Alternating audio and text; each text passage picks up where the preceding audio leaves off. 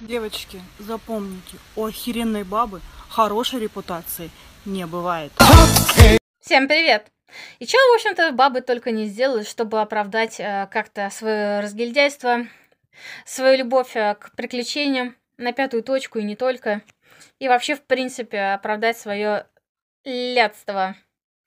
Так что, конечно, проще сказать вот все такие, поэтому я не исключение или это норма. Но на самом деле все мы прекрасно знаем, кто есть кто.